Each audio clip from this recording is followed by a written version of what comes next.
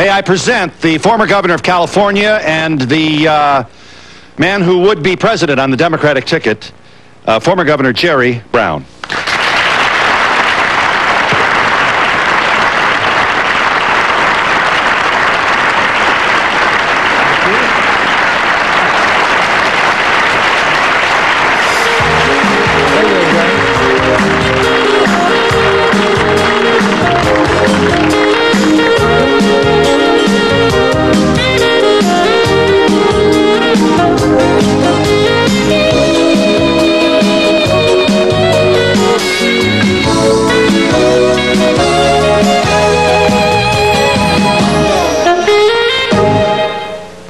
To our program today, uh, fresh out of a very contentious meeting with uh, politically active Jews here in New York who are mad as hell at you for even suggesting that you would put Jesse Jackson on the ticket. Some angry uh, Jewish voters might uh, irreverently say you're running with the Hymietown uh, uh, vice president.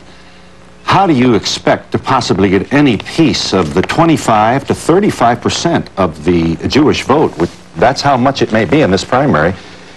Uh, when you have uh, already announced your interest in uh, Jackson as a VP.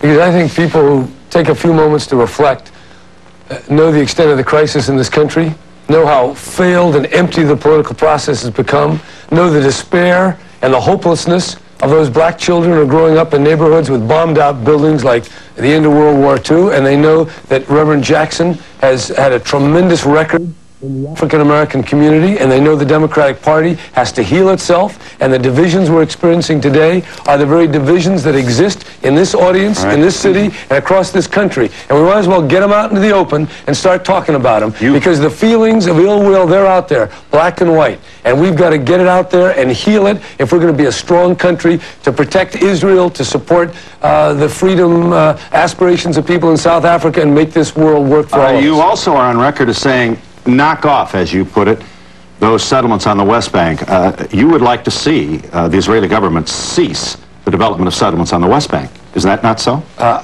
look, I'd like to see the peace process work. I'd like to see the $10 billion guarantee uh, Extended? for- extended without conditions. And if it is, then, then you know about the fungible argument. Then they'll have more money to build uh, settlements. I understand And that. we have uh, all the way back to Jimmy Carter. See this as belligerent, as uh, an unfair intervention into. And everybody's concerned about it. Everyone is, and this uh, country has always said this is an impediment to peace. Are you That's prepared to say that you agree with James Baker and George Bush on the issue of cessation of the settlements? No, I'm not going to agree with Bush and Baker on, on this or any other major issue because what is required. First, I'm running against them, and I'm not about to agree with them. Uh, um, no, here's why on this issue. Look, we don't want to pre-negotiate here. This is a tough. This is a situation that goes back for millennia, and you have different interpretations, different religion, Okay, but different spirits. say I wish they'd knock off those settlements. Do you Yeah. continue to Sure, hold of course that I'd position? say that. I- I think what- it's a better idea if they stop. It enhances the peace process. Uh, I think it does. right. But I'm not going to start pressuring uh, Israel I'm, because the, the Arabs haven't yet uh, stopped the boycott. I mean, this thing is is a division here, right. which is not going to get resolved tomorrow. It's going to take step by step over a lot of years, and we've got to push this thing along. Bush did make an advance forward. We've got to keep it going.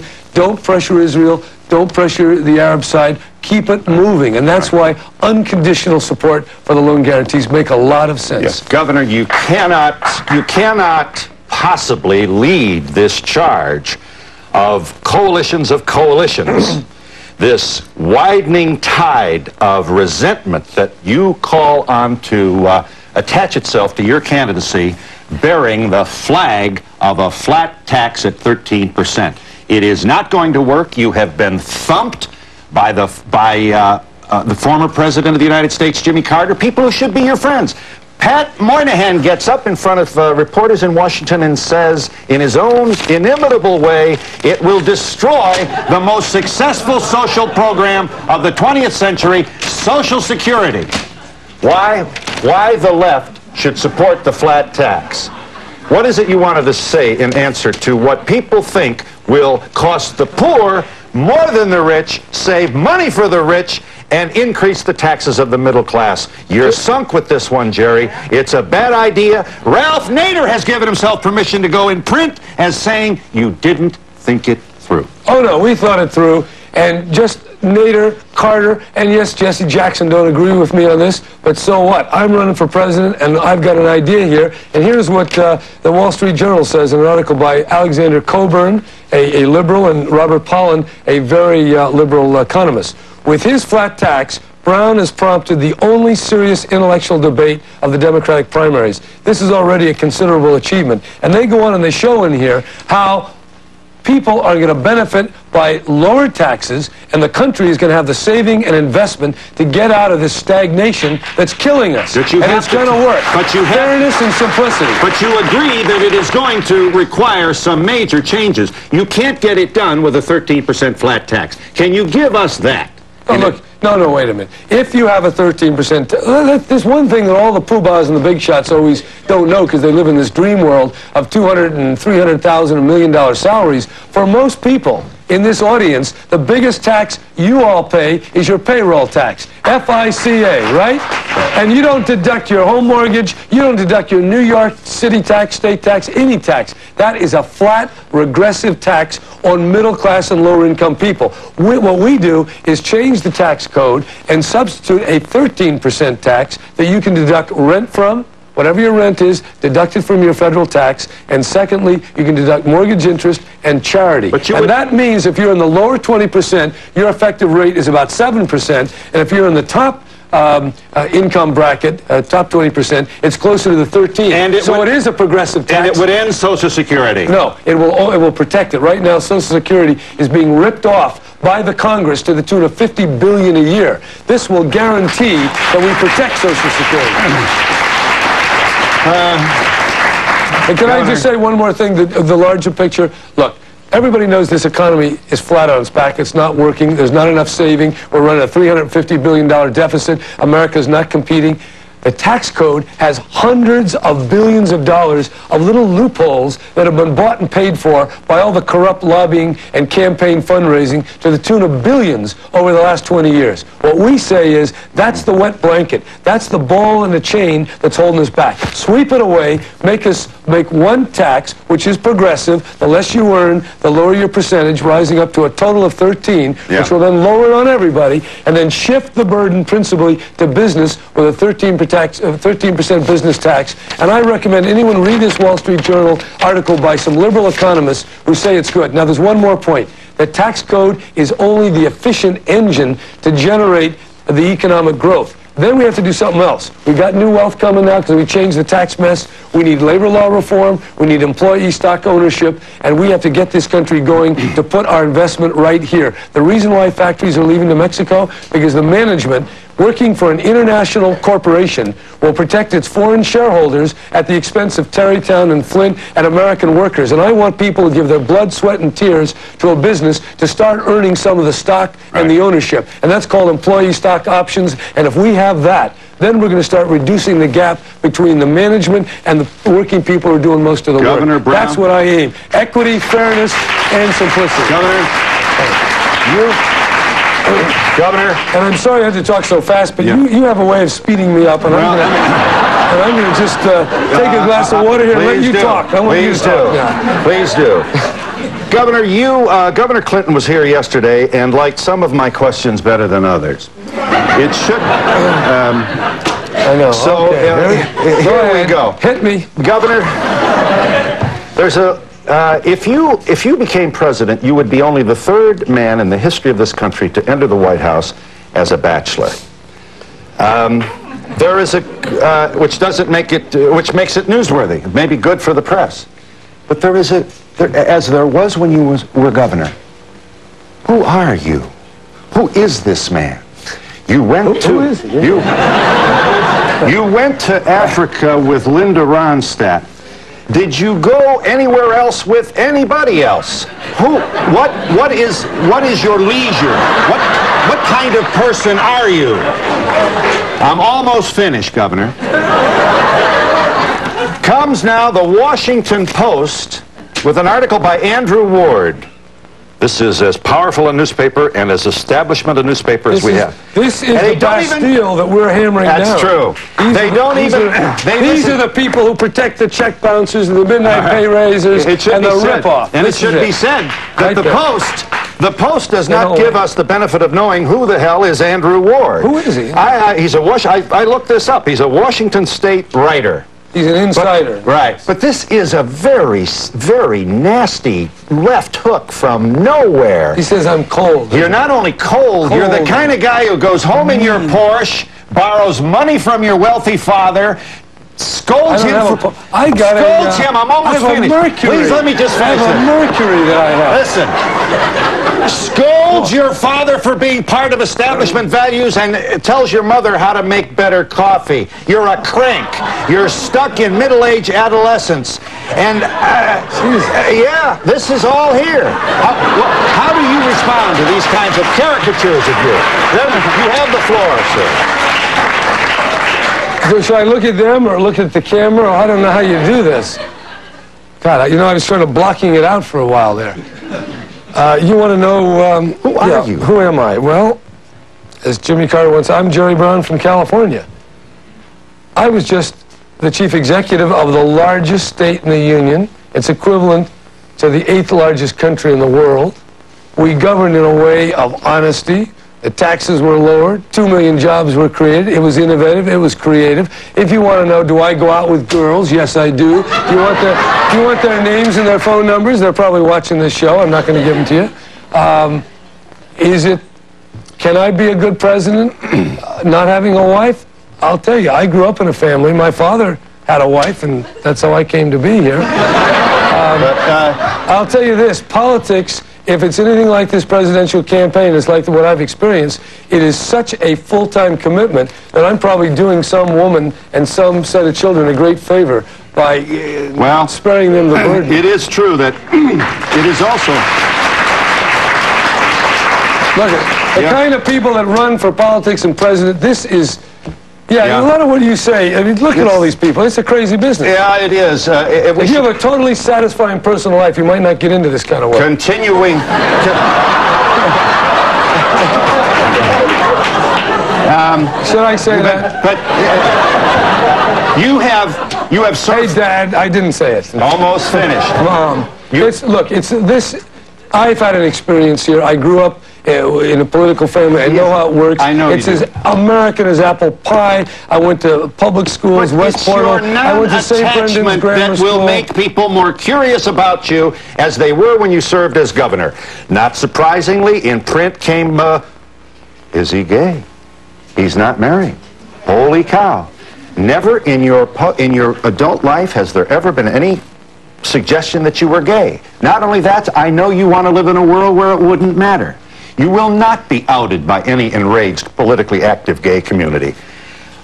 So having set that aside, what, what interests do you have? And are you, as Mr. Ward might suggest, quoting Orwell, interested in non-attachment and avoiding the pain, wanting to escape the pain of living, and above all from love, sexual or non-sexual, which is hard work? Mr. Ward, whoever he is, sees you as not interested in what most of us would consider to be the normal entitlements of the human animal.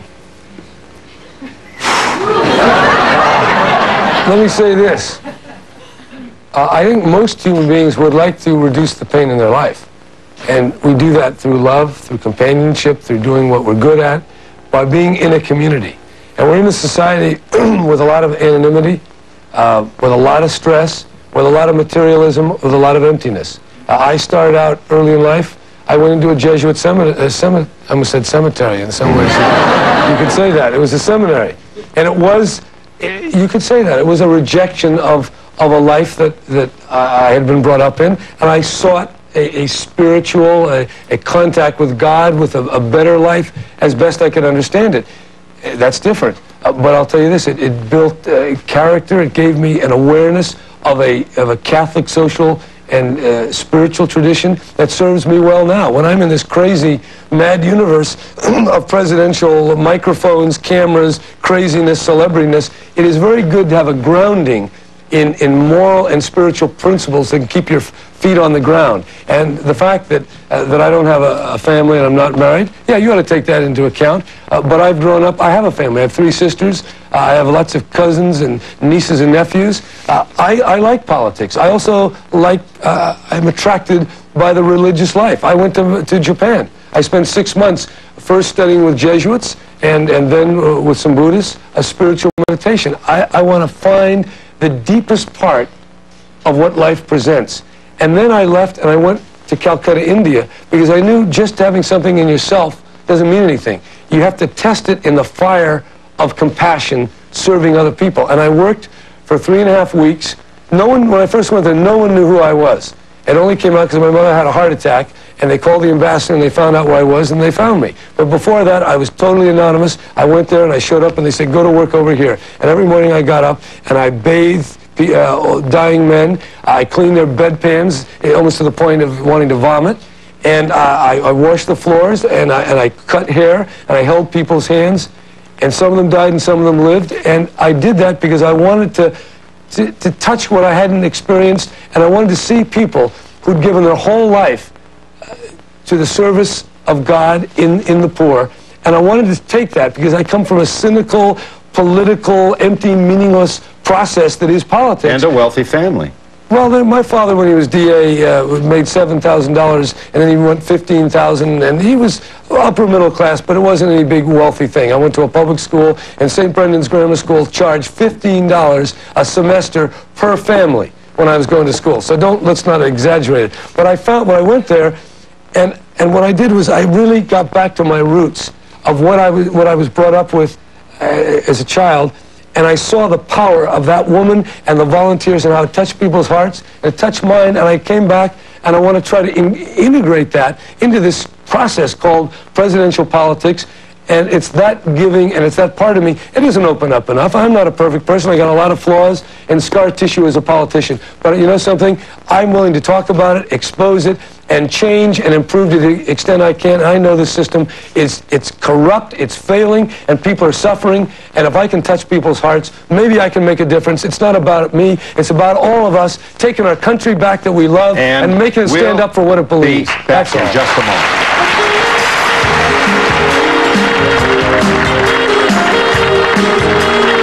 Please. Hi. Governor? Yeah. Uh,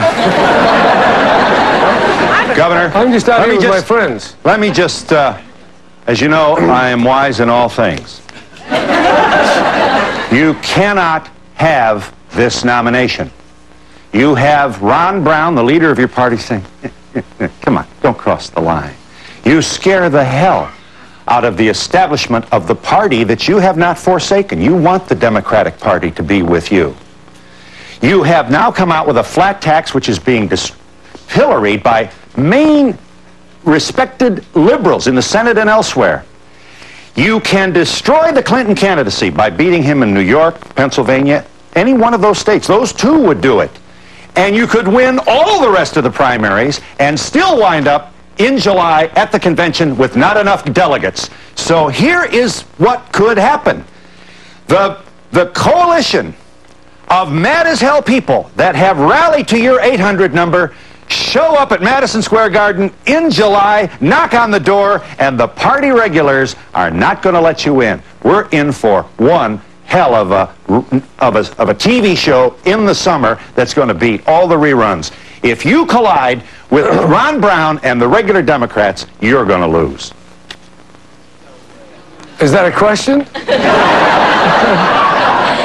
All right, if I, not if I collide, what about if we collide?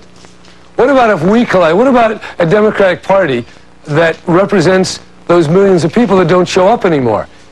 That is the way we're going to beat Mr. Bush, to get the millions of people who think it's a ripoff, who don't like the bouncing checks, who don't like the fact that these fellows raise their pay 40,000 bucks uh, while not accomplishing anything of any real significance, and say, hey, look, we want to take it back. I came up with this 800 number, which everyone ridiculed from the top of the political hierarchy to the national pundits. And all of a sudden, this month, we're going to be asking for the federal matching funds a greater amount than Clinton raised. In other words, the people are now more powerful than the elite. Yeah. You see? And that's very powerful because we started and we built this field and we said, look, if we build it, and taking it something from the movie, I don't want to be accused of plagiarism. Yeah. I said, well, build it and people will come. And now hundreds of thousands of people have called 1-800-426-1112. Now, what does that mean? That means that the people are behind this campaign. It isn't just about Jerry Yeah. Brown. It's people taking back their party. And if we can win this primary and the other states, Mr. Clinton Yeah. is going to go away. But, and then we have a choice. Do you want someone who's gone through the fire of the primary process, or do you want somebody they've taken out of the Senate who hasn't Right. stood the, uh, the, the All test? right, so- and I believe at that convention that I have a reasonable Yes. chance of getting the nomination. You are asking us to accept the legitimacy of your political conversion. It, wa- it's, you can measure in months the distance between now and when you were raising millions for the Democratic Party. You were for a balanced budget amendment in 1980, which would destroy social programs in this country. You went on television and you said, hey, Israel, knock off those settlements. Now you're backing up from that, having just come from a very angry meeting with Jewish Can we do voters here two in New things York. at once? Here's Yeah. my point. Israel and the balanced budget all in the same You're question. changing. You go with the wind. You're as political as anybody who ever announced for president. Okay. You will go this way, that way. You do change. You're not as pure as you claim. Well, that's true. that's true. Uh, and I don't know how pure I've claimed to be. Well, you give me these three barrel questions. You've got Israel, you've got uh, political I'm fundraising. talking about your changing. You change positions. Yeah. I know, but you left three contaminated comments that are still floating around out there. The floor is yours. Okay, good. Well, I just wanted to establish that. Uh, the three things. Uh, I've, all administrations have said the, the settlements are impediment, but I have consistently supported the loan guarantees without condition and moving the process forward without pushing Israel uh, in a way that pre-negotiates for them. Both people together, okay? That's what I've said consistently. Secondly, uh, this business of political fundraising, I've authored the Political Reform Act of 74. Yes, I've raised money. And yes, I raised money as recently as a few years ago for the Democratic Party because I wanted to build an institution that would revitalize itself and reach out to all the people that don't be a part of, aren't a part of politics. I found by rubbing my nose in this business, morning, noon, and night, not only did I gain 30 pounds by going to all these meals, not only did I finally figure out why they serve sherbet in the middle of the meal instead of at the end, and they call it sorbet. I don't know how many of you people get into that. But I found out, well, I mean, I knew it, but I didn't experience it because before when I was governor, yes, I went to fundraisers, but there was some governing in between. But as a party chair, it's every morning, every noon, every night, getting the money from the top 1%. And what that means is that, well, how many people here have never given $1,000 to a politician? Would you raise your hand? Yes. Just raise your hand. Okay. It's complete separation from the people such as this. And politics has become, as I experienced it, away from these people. Okay? Yeah. Now, now here, let me just finish it. So what I saw is that what I'm noticing is, that politicians are spending all their time getting the thousand dollar checks to buy the TV We to get it. manipulate people like this. So I said, look, I'm going to do it another way. Because I saw what happened in 1990 in California. The candidate for governor lost, it was a Democrat. Our party registration went down, and everybody said, Brown, you didn't raise enough money. So I went back and I thought about it. I said, baloney. What this party needs to do is go back to the grassroots and say, you control this party. And that's when I came up with the 800 number and not taking any check more than $100. Can we try- Let you control the party. We will take back this government. And all those folks in Washington will finally hear the voice of regular Americans. Yes. That was the idea. Now, can I try some some brief ones here? Are you for a are you for a voucher system that would allow public money to uh, uh, to gain access to private schools No. for our citizens? No. You're against no, that. because the public school needs to be supported. It's just- yeah. I'm not getting past the road. And who, uh, sir? Briefly, sir. If, if, if you were uh, really for energy conservation, would you have the guts to call for America to raise energy taxes so that we pay for gas what Europe pays? That would raise a tremendous amount of money. Some of it could go back to the poor people who pay for gasoline, and the rest of it would really build energy conservation. Uh, no, I don't think a gas tax really makes a difference. In fact, I think all the talk of raising the gas tax for conservation is baloney. It's just a way to get more money into government. And here's the reason. The cost of an automobile relative to the amount that you can increase the gas tax is too disproportionate. If you want to get people to buy fuel-efficient cars, put a fee on gas guzzlers. Thousand dollars, all right? Then rebate that fee to people who buy efficient cars. Give them a thousand dollars every time you buy an efficient car, and you know what? They'll get a lot more efficient cars because that's real money. That's a real incentive. It's oh. called feebate. Right here. Feebate Right is the way to Governor. get Right conservation. I'd like to know if you've if you've heard about the World Summit that's going to be in Rio in June, and if you could comment about that, your feelings about the environment. I'm concerned President Bush does not even plan on attending this Uh, summit. yeah, I think that we're turning the planet into a stinking junkyard, and that we're killing the possibility of a sustainable life as we know it. We've had, in my lifetime, I think we've gone from about one and a half billion people to 5.3 billion. We're going to 9 billion, no matter what happens. We have to learn how to live efficiently and elegantly and in harmony with other, with other living species. And we can do that by the application of intelligence and imagination. I'd go to that Rio summit. I would commit to reduce CO2 emissions to the 1990 level. I think we can go below that, and we can save money. The key to our economic future is efficiency. We're wasting uh, two to 300 billion in energy we don't need. We're wasting uh, 50% of the paper and packaging that we're uh, ending up in a landfill. We're wasting huge amounts of money in our medical care, and we're wasting money by putting people on welfare and in prisons because we don't guarantee a living family wage and jobs for all Americans. We can link environment and jobs together in a society that works. All we need to do is break up the gridlock down there in Washington. And show next Monday on the eve of the New York Democratic primary without reporters, without these media people that you can't trust anyway, without, with, without an audience, without phone calls. What will they have to say when the agenda is their own on free TV? What will they have to say to each other, and what will their questions be? One more point. Governor Brown makes his second visit to the Donahue Show because before Connecticut, we invited both Governor Brown and Governor Clinton. Only Governor Brown accepted. So don't call us unfair here. Who's, who else is with me here? Sir, you wanted to ask, yes. Yeah, Jerry, I, I remember that you studied uh, as Brief a Jesuit. history. Oh, uh, um, uh, quickly, uh, how would you characterize your beliefs now, and how do you think that affects your politics? Are you a practicing Catholic? I call myself a practicing independent Catholic. You don't That go... means I don't make it every Sunday, but I do make retreats and I follow the basic tradition and practice. Yes, you wanted to ask. But I ain't going to confession on this program. I would like to know if you have any particular agenda for improving education in this country.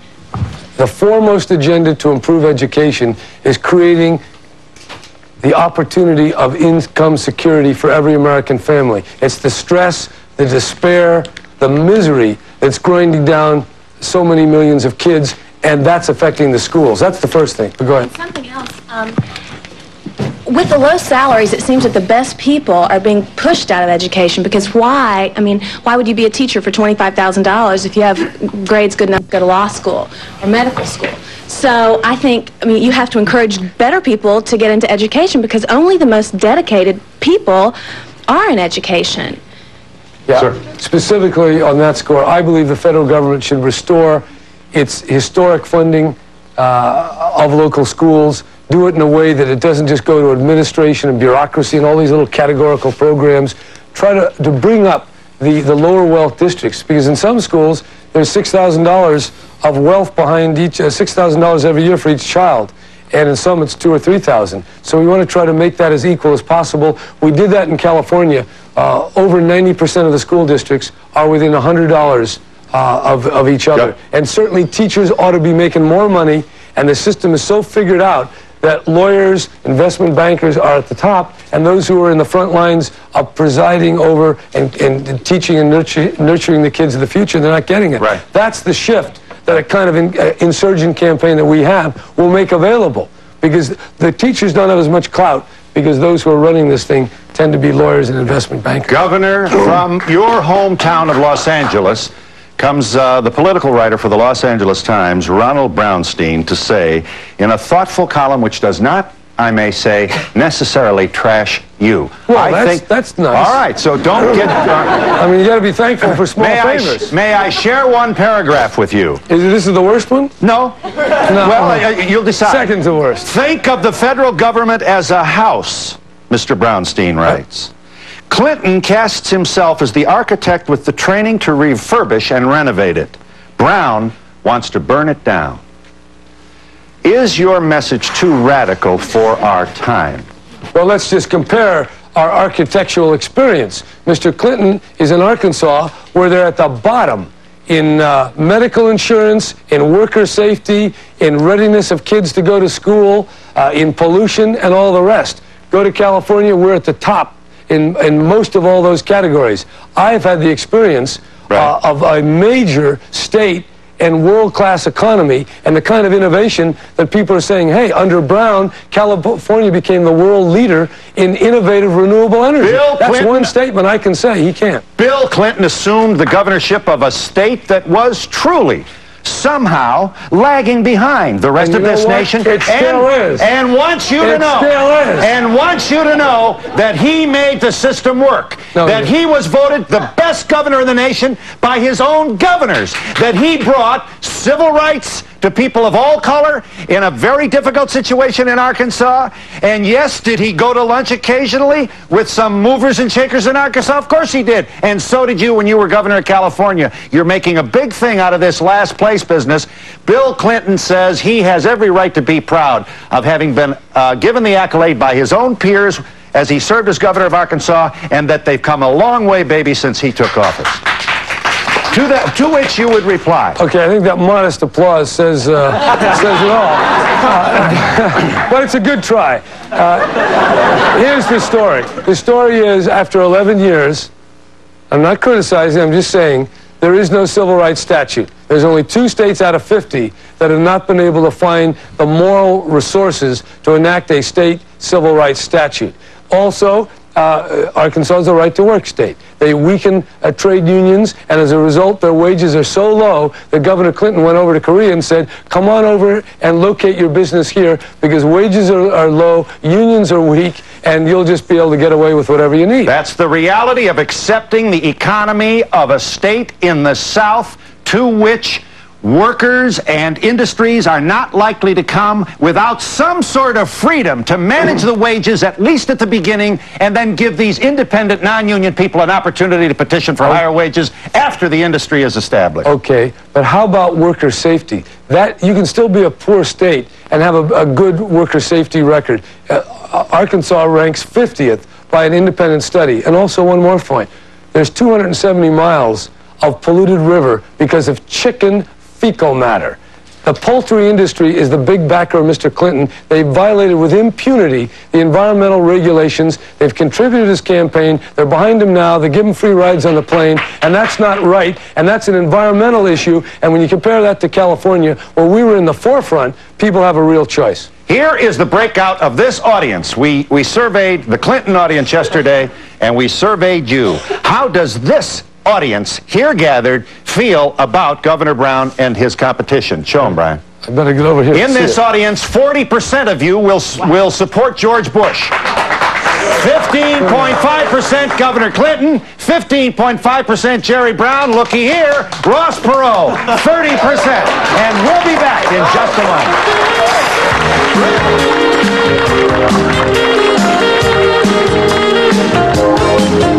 So what? Over here, Governor, sir. Yes, sir. How do you expect to uh, work with these people? Great, I'm going to vote for you. How do you expect to work with these people that you're going to alienate, alienate in Washington? All those outsiders or insiders that you've devised? Well, hopefully a few of them will remove themselves during the election process. Uh, out in Chicago, uh, a, a woman was just nominated to the Democratic Party, uh, beating an incumbent Democrat on the issue of Clarence Thomas. You're going to see more of that in the Congress. And what I'd like to see next January is a, is a Congress with some new blood and with some of the old blood rejuvenated and committed to the kind of social and economic justice that the Democratic Party was founded to create. When Thomas Jefferson started this thing, he said the following, and I quote, stop the power of the few from rioting on the labors of the many. He'd turn over on his, in his grave if he saw the way the few were financing his party. And all we're trying to do is to get it back to the original uh, intention. Governor. Yeah. Governor Brown, what Yeah. are you going to do with health care programs for people that don't have health care? My goal is to have health care not as a commodity for profit, but as the right of every American citizen. That's a single payer system, universal coverage, like they have in Canada. Yeah. With tight constraints The problem is not to ration the care, it's to ration the greed. And if we remove the intermediary of the 1,500 insurance companies, we can save enough money to co- uh, cover And you want to put a cap, A cap. on the cost of services. Yeah. Which would artificially limit the income of doctors. Some, yes. Uh-huh. That's Why- yeah, why shouldn't we Not artificially... but it's pretty artificially increased right now. Well, but why, you know, who Very else, who else would you artificially limit? Maybe you ought to ar- artificially limit the uh, pay we give talk show hosts or ball players. Or how, how much of a free market you spirit, don't operate on us except on our minds, so... uh, how much of a free market spirit will live in a Jerry Brown presidency? Are you going to be mad at all successful, wealthy people? And incidentally, how rich will I be able to get if you become president? And how mad at me will you be Look, at the uh, appearance of wealth? You appear, you appear to be anti-democratic, anti-free market. You must scare the hell out of Milton Friedman and a lot of the conservative economists out there. sir, um, sir, I ask you this seriously, sir. This is like an acupuncture of political attack. They, look, we want, we don't mind the rich getting richer, but we want the poor to get richer at the same time, and that's not what's happening. The reason I say the healthcare system, because in Canada they're spending $500 per person less. Everyone's covered, and they live two years longer. We're spending 40 to 45 percent of tax money pouring into this health system that is so um, organized that there's tremendous incentives for overprescription, over medication, unnecessary operations, more visits, and paying more and more than anyone else in the whole world pays for the same thing. And our infant mortality is 50% higher than Canada, and we're living two years less. That's wrong, and I think if we stress more primary care, we can create a balance between the high tech and the ordinary garden variety medicine and emphasize prevention and occupational environmental health, and we'll all live longer and we'll have a higher quality life. Sir. Governor, if you become president, will you raise tax or lower tax? I would revamp the tax system to take out the $350 billion of loopholes that are so obscure but have bought and, been bought and paid for by the powerful people that we can have a clear, efficient saving and investment economy in this nation. That's what the 13% is all about. And anyone who has any kind of guesses about it, take what you earned, deduct your rent or your mortgage interest, whatever you gave to charity, and multiply by 13, and you're close to where you are. And it's, I will bet everyone in this room is better off. Would you support low-income housing in suburban areas to relieve the pressure on uh, urban communities? Yeah, where, where, where appropriate, yeah. I mean, that's not going to, I mean, the big thing we need is get income to people, which means get jobs to people so they can pay for their rent. Low income is what you do after the social and economic system is so distorted that you have a group of people that are concentrated in one place who can't earn, who can't survive. So now you got to go to the federal government and give them some kind of free housing. I'd rather create an economy that allows people to work, earn money every month, and to get a house wherever they want it. That's the way you got to make it work. Yes, ma'am. Over here. Over here, please. Yes, I think Mr. Brown here is ridiculed a lot by media because he has different views than the norm of um, political society, but I think it's time for a change. Yes. Thank you. What is your reaction to the studio poll, and do you feel more threatened by Ross Perot? I think Ross Perot is going to get a lot of votes, yes. And it makes my point that the, that the folks in Washington don't get, they don't hear it, that the political system is unraveling. First you had Duke, then you had Buchanan, and in a very different way, and I don't compare them, you have Perot. The nice, cozy arrangement, Republican, Democrat, the little hierarchies all get together and pick their own, that is being broken down. And my candidacy is meant to provide a legitimate alternative of reform inside the Democratic Party. And I hope after this meeting we can take another vote and see if I can take that 15% and move it up a lot higher. Governor Brown, Ross Perot has made it very, very clear that he believes the Persian Gulf War was a mistake and it was the result of our beefing up Saddam Hussein all through the years, very, very uh, well detailed in a three-part series in the Los Angeles Times, I might say. Uh, he is essentially, he was our SOB in the 80s, and it was our uh, billions of dollars of aid that, that allowed him to survive the Iran war and threaten Kuwait. If we hadn't done that, there may not have been a need to send our young men and women to this war. Do you agree? Yes. I do. I definitely. And we'll be back in just a moment.